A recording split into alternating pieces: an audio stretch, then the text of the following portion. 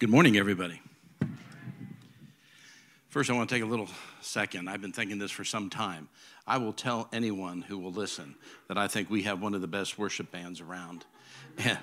yeah, amen. Guys, um, I would say that they are probably the best that I have ever had a chance to work with, and I've worked with a lot. I've had a lot of good and competent musicians uh, on the church staff that I've worked with over the years. And I know that they don't do it for our praise, right? They do it for the glory of our, our King and Savior. But at the same time, I think there ought to be some times when we just uh, say how we appreciate their ability to bring us into an atmosphere of worship. Amen? Amen? So let me say thank you, guys. Wow, this was a crazy week, wasn't it, this past week? You know, whether your candidate won or didn't win, we can all be thankful of one thing. We don't have to put up with any more political ads for a while. Amen? Yeah, yeah. I even got political ads this, uh, this season on my phone. Did any of you get on your phone? Somebody asking for five, ten bucks to support their candidate. And I was reading an a, um, article this past week, it was probably about like Friday, it was after the election, that said that over $30 billion, not million, billion dollars had been spent on political ads this season. Think about that. And then I had also read the same day an article that stated that all of those ads had little to no effect on the voting population because the vast majority of people had already made up their mind on who they wanted to vote for. So you think about that. What could we have done with 30 billion dollars? You know what I mean? We could have just taken a little drop of that and built our new building, huh?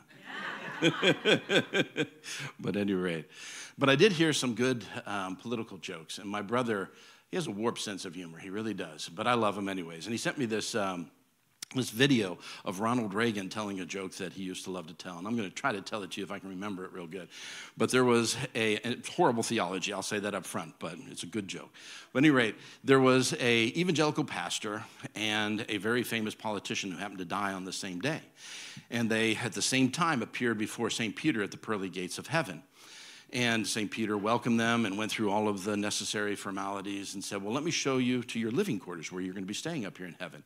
And so they started walking down the golden streets of heaven, and they came to this really modest looking building, and they went inside, and they came to this, uh, it was rather stark, Spartan room, where it only had like a twin bed, a chair, a table, and a lamp on it, right? And he turned to the uh, evangelical pastor and said, Well, this is where you're going to be staying, right? Well, the politician started getting worried. He said, Well, if this is what this good and holy man is going to get, what am I going to get? You know what I mean? And they went back out and they're walking down the street and they came to this gigantic mansion with tons of room, uh, rooms in it and a huge property. And they even had servants who were working on it to keep it up. To, and he turned to the politician and he said, This is going to be where you live, right? And the politician thought, you know, something must be wrong. You know, I'm confused, right? How did that good and holy man get that little tiny room and I get this gigantic mansion? And St. Peter said, Well, you have to understand how things work up here, right? You see, we have thousands upon thousands of pastors and priests that we have to find accommodations for. But you're the first politician that's ever made it. I like that. But it got me thinking about how when I was young, the head of the Republican Party was President Reagan, who was president, and that because of that, he was the highest ranking Republican in the land. And then there was a man named Tip O'Neill. Anybody remember Tip O'Neill, who was the head of the uh, Democratic Party, had the highest ranking Democrat position as Speaker of the House, right? and they could not have been further apart. I mean, they were polar opposites on their on their views and stuff. But what I always found fascinating was is that in their personal life, they were best of friends right? In fact, over the years, many books and articles have been written about their, their friendship, right? And it was a known fact that many times people would see them at different restaurants and different places um, eating and drinking together. And they truly had. I remember watching this one video too, this, after I read about that. I watched this one little video, and it was, um, it was at Tip O'Neill's retirement party. And you couldn't help but cry because Ronald Reagan got up there and he started saying some, you know, telling his jokes like he always did. But at the very end, he just got real quiet and he said, You know, I will probably never have such a good friend as Tip O'Neill, right? And it was just this beautiful moment. And you thought, Why doesn't that happen today? You know what I mean? and they were talking about he was talking about how they used to go fishing together and i started thinking can you imagine if kamala and trump got in a little boat and went out fishing together right i mean you and I both know that probably somebody's not coming back alive from that, right? and but you know, back then it wasn't uncommon for people to be great friends who had different beliefs, right? My best friend that I grew up with, who was the best man at my wedding, we could not have been more polar opposite. And we had some some rather nasty debates from time to time, but they were just that. They were debates and we came back to the things that we had in common. He loved his Lord and Savior. I love my Lord and Savior, right? He's now a minister down in Tennessee. I'm out here. He thinks I've fallen off the edge of the world. But the point is, is that when we were growing up, you know, we had these different beliefs, but we still could be best friends, right? And you know, I tell everybody, you know, when I was growing up, you know, we all talk about the good old days. they weren't all good, my friends, okay? I was thinking back this past week about how uh, there was in the late 70s and 80s this this literal wasteland of fashion and design, right? I mean, how many of you remember these colors and schemes, okay? Anybody remember shag carpet? I mean, that was of the devil, but um,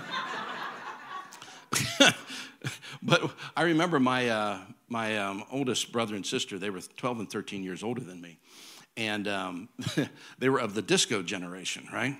And I'll never, yeah, everybody go, whoo, yeah, somebody remember that too. any rate, point is, is that uh, I remember when um, my brother, a couple weeks before his wedding, right, him and his uh, fiance, my now my sister-in-law Becky, decided that they were going to both get afros for their wedding, right? Now, does anybody? This is not my brother, a picture of my brother, but does anybody remember those tight curls? You remember that? The, they were. They both had blonde hair. They both. I mean, they looked like two blonde Q-tips. I mean, it was it was awful when they were coming down there. And I'm just a little boy watching this play out. And then my mother, uh, she had, uh, I guess a lot of people her age, middle age, uh, that time period, they had the same kind of hairstyle. And I think it came from Dolly Parton, where they stacked the hair up on top. My mother's hair was stacked up so high at that wedding, it defied the laws of Newtonian physics and gravity. I mean, it was way up there. And, and then as they all went out, my mother followed them out, you know, to kiss them goodbye as they went on their honeymoon and stuff like that. And they got in uh, Becky's AMC Pacer. Does anybody remember this horrible engineering catastrophe, right? Literally from behind, it looked like a fishbowl on wheels, right? and I'm just a boy watching this whole thing play out, and I'm thinking, thank you, Jesus, this went by the wayside, right? That we don't have to deal with those, those horrible uh, fashions anymore.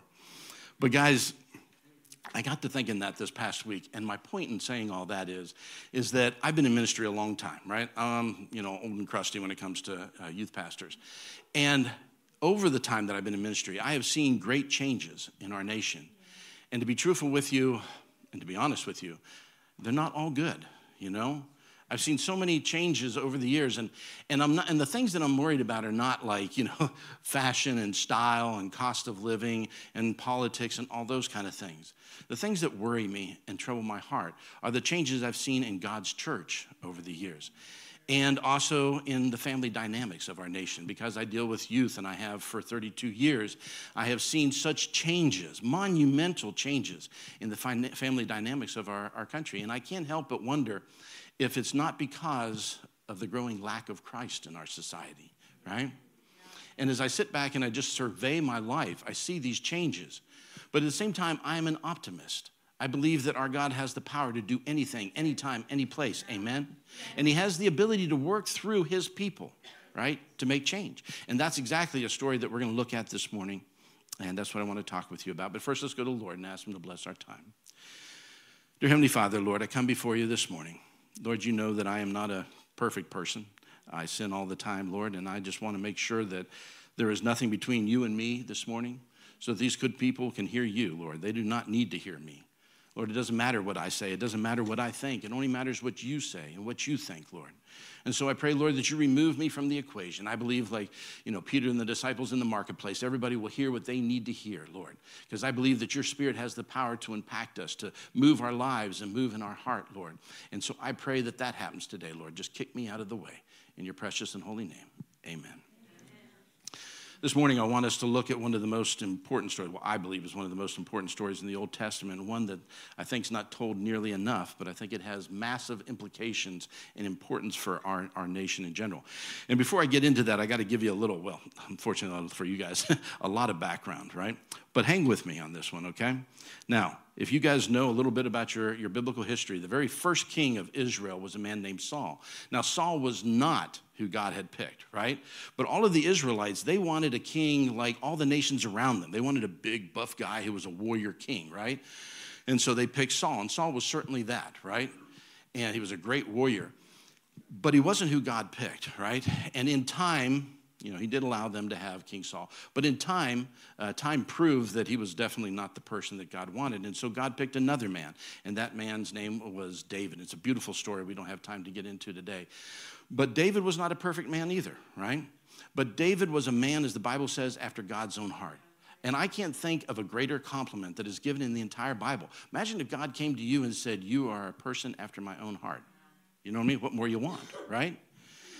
But he wasn't perfect, but he tried his best to follow God's way. And then his son, Solomon, was born, and Solomon pleased God. The Bible says that God delighted in Solomon and loved him and blessed him.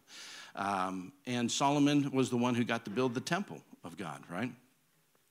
But if you know the story, unfortunately, as he got older and he married wives that the Lord told him not to marry, right?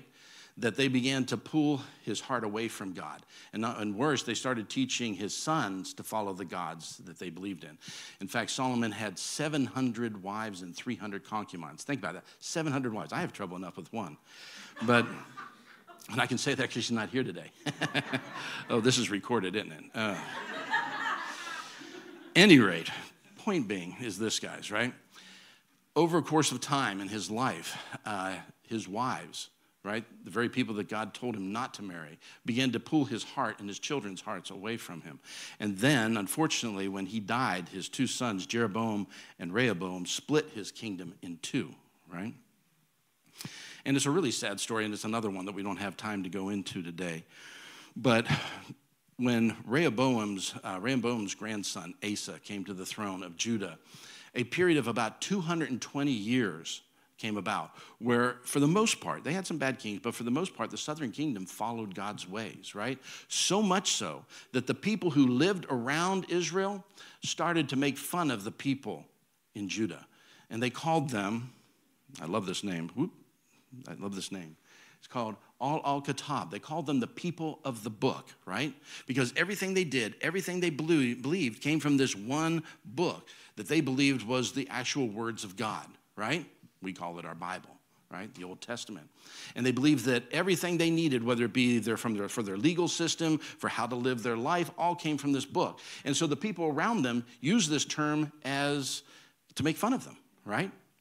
But they took it as a compliment, and they uh, called themselves Am HaSefer, which means people of the book in Hebrew, right?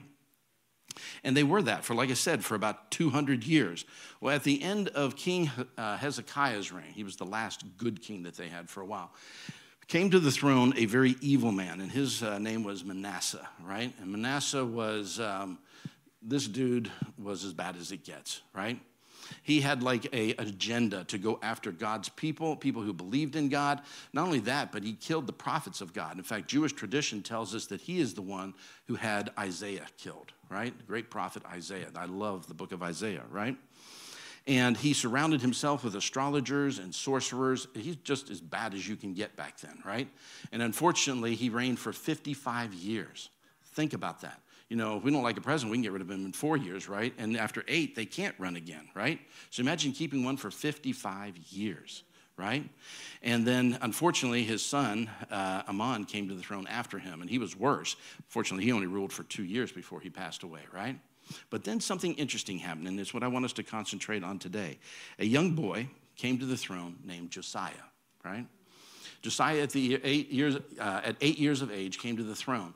Now, Josiah had been raised by his mother, who secretly worshiped our God, Jehovah, right?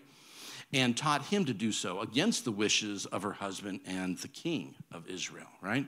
And so when Josiah was um, in his 18th year of his reign, right? When he was in his mid 20s by then, and he felt powerful enough in himself to start doing the things that he wanted to do. He started to tear down all of the. Um, the idols in the temple. One of the things that Manasseh did, I forgot to tell you, was is that he literally put an altar inside of God's temple to the false god Azareth, right? I mean, a total abomination, right? Well, one of the things that Josiah did when he was old enough and felt strong enough to do was to tear down all of that and to begin to remodel and to clean out the temple, right? Take all of that stuff from the other gods, get it out of there. And he also took uh, tax money from the people to literally refurbish the temple, right? And here's where it gets interesting, right? Well, one day, the new high priest that. Um, Josiah appointed, a man named Hilkiah, was literally cleaning out some back corner, like the resource room over here or something like that, right? Some back corner of the church. And in this dusty corner, he came across this large jar. And inside it was a scroll. And that scroll was the word of God, right? And he started reading it, and he thought, oh my goodness, I've got to take this to Josiah. And so he went and he uh, brought this scroll, right? Which we believe um, was the first five books of the Bible, the Mosaic Laws, right? And he brought it to, uh, to, to Josiah and he began to read it. When the king heard the words of the book of the law, he tore his robes. He gave these orders to Hilkiah the priest, Ahikam the son of Shaphan, Achbor, son of Micaiah, Shaphan the secretary, and Uzziah the king's attendant. Go and inquire of the Lord for me and for the people and for all Judea about what is written in the book that has been found. Great is the Lord's anger that burns against us because of those who have gone before us have not obeyed the words of this book. They have not acted in accordance with all that is written there concerning us. So you understand what's happening here, right? You have Josiah, who's brought this book. He'd been worshiping God, but they didn't have the book. So I'm like, I guess they're going by like word of mouth, right? And so he's worshiping this God, and then they bring him this book, and he reads, and he finds that even what he thought it meant to follow God was a lie. He falls down on the ground. He rips his clothes in anguish, realizing how far off base his country had gotten, right? And all the evil that they were doing in the eyes of the Lord, right? And I remember when I was uh, young and going through seminary, this story always bothered me, right? Because I couldn't understand how a people, right, who loved God, who were called God's people, that everything that they knew and did came from this one book, could become people who couldn't even find the book. You know what I'm saying? I mean, it was in some dusty corner, right, rotting, and they couldn't find it. And I was just dumbfounded about it. How could people of the book become people couldn't even find the book in a little over 50 years? Think about that, right? And as I was sitting there thinking about that this past week, I started worrying about our country, right? You know, our country, whether you like it or not, whether you believe in some different history, I started out, maybe you don't know this, I started out as a history teacher before I went into ministry, right? And what boggles my mind is how so many people don't realize that, yes, our country was founded on God's word. Our legal code was everything, right? And how we truly were proud of ourselves and believed that we were blessed by God, even put on our coins and our money in God we trust, right? And I thought, could we become like that if we, his people, are not vigilant about keeping his word? And I remember um, this past week when I was thinking about that, I started to find some statistics and stuff just to see. And I looked back and I found that in 1973, 87% of Americans identified as Christians. But in 2023, that number had dropped to 65. Church membership has declined from 70% in 1999 to 47% in 2020. And the last one horrifies me. In 1965, nearly 60% of Americans attended church once a week, 23% in 2024. Yeah? And I couldn't help but wonder, my friends, if that hasn't been the cause for so many other ills in our country. For instance, the percentage of children living with two married parents has decreased from 92% in 1960 to 59% today.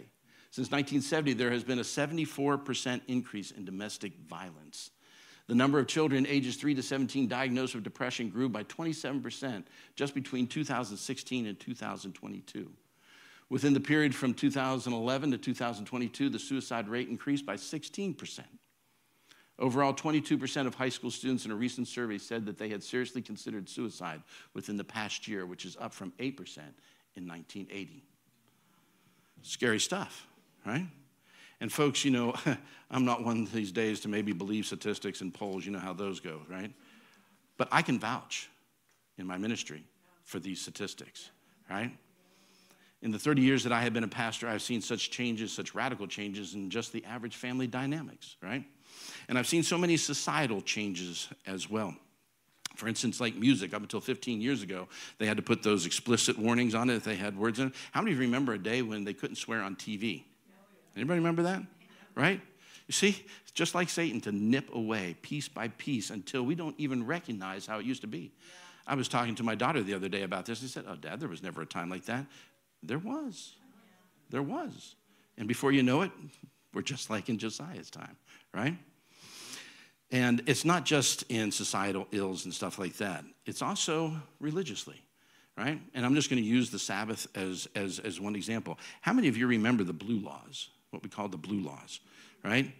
We use that term down in the South, but blue laws used to be laws set forth by government to protect the Sabbath, right? One of them was that you couldn't sell alcohol on Sundays. That law was repealed in Oregon in 2002, right? And all across this country, like when I was growing up, it was forbidden to have school, uh, uh, sports schools on Sunday. And a lot of places, they didn't have it on Wednesday because that's when they had their midweek programs, right? That's not, by, you don't have that anymore, do you, right? And there are so many other things, guys, that I remember uh, one time I was sitting down with a, uh, a friend of mine, and uh, it's been a couple years ago. And he was talking, he had a crusade about prayer in school, and he was telling, you know, I believe the, uh, the answer to all of our problems is to put prayer back in school. I couldn't help but like laugh at him hysterically because I thought, you know, John, that's like putting a band aid on a gaping wound. I'd be just thankful if God's people respected his day from start to finish. I said, just think, just think what would happen in this country if people were as concerned about getting their kids in church and in youth group to hear God's word as they were about taking them to soccer practice.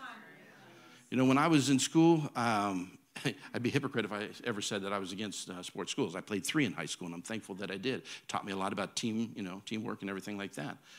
And I was also proud of the accomplishments we did. We took the state championship in my uh, junior year when I was in soccer, and I was proud of those accomplishments. But I'll never forget my dad said to me, he said, "Jason, I don't care what you uh, what you join or whatnot, but if you make a commitment to the church, you will not break that, no matter what you have to do."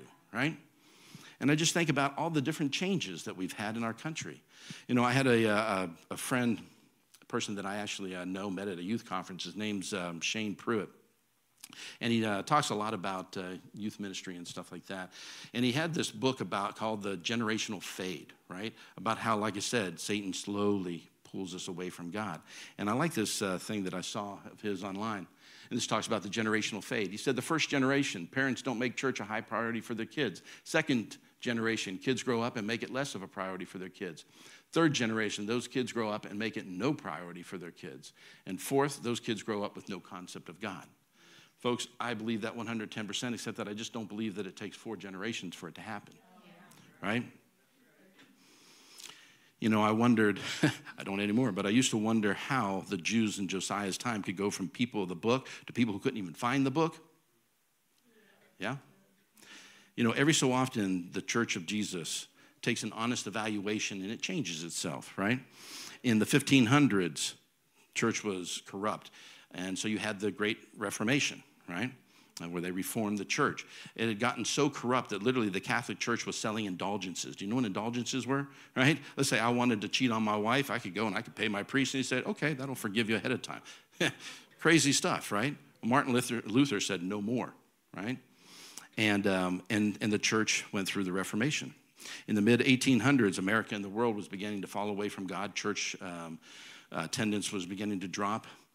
And a couple really important preachers came about, like Jonathan Edwards and George Whitefield. And that era became known as the Great Awakening, when the church awoke again, right? And even in our story today, the story of Josiah, you know, Josiah was one of those persons who didn't just hear about it and say, oh, that's a shame, right? He did something about it. In fact, he went through a period where he tore down all the altars throughout all of the land, burned them, and he restored God's law to the law of the land, right? And things changed. In fact, uh, one of my favorite passages in the Bible I'm going to share with you um, is found about Josiah. It says, Neither before nor after Josiah was there a king like him who turned to the Lord as he did, with all of his heart, with all of his soul, with all of his strength, in accordance with all the laws of Moses. Some people like to say that uh, King David or King Solomon was the best king that Israel ever had. I strongly disagree. You see, this was a man who saw the problem. He didn't make excuses, right? Didn't run from it, didn't hide from it. He attacked it, right? And he made the changes necessary for his nation, right? My friends, I have heard it many times. Some people have lost faith in this current generation. Nothing gets me more angry as a youth pastor, right? Those people do not know the precious souls that I have the privilege of working with every Sunday night. And just last Sunday night, I was praying with a precious soul who was really troubled by some things going on in her family. And I have heard those stories exponentially more in the last 15 years than I did in the first part of my thing. And I think, as a pastor, Lord, what can I do? It breaks my heart. I mean, once you get to know them, anybody who works with youth, right? You get to know them. You know how precious they are. And you, you know, I met as a youth pastor. Um, maybe I'm fatalistically optimistic sometimes, you know, about them, right? But I see their gifts, I see their talents, and I think, man, I just want you to attack that, right? And then I see how the world attacks them, bullies them. And I hate to say it, but I feel like the church of Jesus isn't attacking these changes like they should. If anything, we go out and we pick it. There was a guy down, I remember uh, my daughter was going to University of Oregon and went down and um, it was on the street corner. It was like there was like three marijuana dispensaries on this corner and stuff like that. And there were some people coming out of some bars that were drunk this day. And this guy was just screaming at the top of his lungs, "Repent! You're all going to hell!" and all this kind of stuff. And I'm thinking, oh, really? That's where you want to start with, right? Maybe true, but is that really where you want to start with? How about let's say we love you. Your God loves you completely and absolutely, and we start there. Wouldn't that be different? See, my friends, we as a people God's people, can't bury our heads in the sand anymore. There have been changes that are not good, right? And they're affecting our kids. But if we bury our heads in the sands, we can't become an agent for God to change it, right? I want to be like Josiah. I want our church to be like Josiah, to get down. What did he do first? He prayed. He got down on his knees, the best place to start, right? But then he got up and he did something about it, right? And so today, I want to challenge all of you. I'm going to ask Liam and uh, Evan to come up. And they're going to stand up here on either side, one on each side, right? Down here on the floor. And I'm going to play a video, right? And I want you in silence to watch the video and be thinking. And if God lays on your heart to come forward and take the names in these baskets are the names of the kids that go to our youth group. And what I want to do is spiritually adopt them and say that we're going to pray for you. I want to pray for you every time I go before the Lord in prayer for the couple weeks in the weeks that come, all the way to the end of this year. Believing, you know, James says if you pray but you don't believe, it's like praying to the four walls. Why bother, right? But we need to believe that God's going to make such an impact in their life that they're going to have such a foundation that not even the gates of hell can prevail against them, right? And so, what I'm asking you is if you feel led, but only if you feel like, you know, yes, every time I pray, I can pray for these kids and I can bring them before the throne of God, right? But if you can do that, then come up and take one of these names as you watch this video.